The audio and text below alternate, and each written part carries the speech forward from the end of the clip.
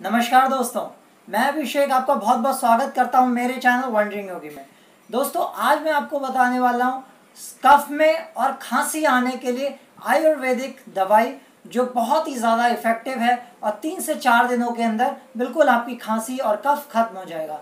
दोस्तों, आप ये देख रहे हैं, ये शीतोपलादी चूर्ण है, ये डाबर और वैद्यनाथ का आता है। इसको आप एक चम्मच लीजिए, छोटा चम्मच, उसको शहद में मिलाइए और उसको अपने मुँह में रख करके उसको चाट सकते हैं जीप के साथ में।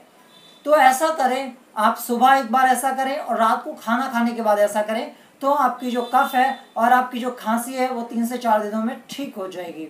आई होप आपको ये आयुर्वेदिक टिप ज़रूर पसंद आएगी और आप इस शीतोपदार्थी चूर्ण को अपने घरों में ज़रूर रखिए आपके बहुत ज़्यादा काम आएगा। दोस्तों, इस वीडियो को ज़्यादा से ज़्यादा शेयर करिए और इस आयुर्वेदिक दवाई को ज़्यादा से ज़्यादा लोगों तक पहुँचाइए। आप इसी तरह मेरे चैनल को देखते रहिए जुड़े रहिए। आप सभी का धन्यवाद।